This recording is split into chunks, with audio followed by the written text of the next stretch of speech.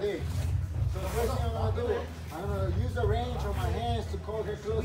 Okay, that's good. I'm gonna throw my rear front kick. Boom. To create the momentum. After that, I'm gonna fake the front the front kick again. At this moment I'm gonna come back with a two, three, and then I'm gonna follow with another front kick and then a low kick. The. Okay? So one more time from the beginning. So I range my range. Okay, so that's good. Front kick first. Boom. So now he's know uh, the, the front kick coming. So I'm gonna fake. Two, three, and now the front kick comes. Boom. Back, step out, balance it with a low kick to the leg. Got it, guys? Great. So nice and slow, one more time. Watch. So I get the range, I get the range. Okay, he's in my range, he's in my range. Boom.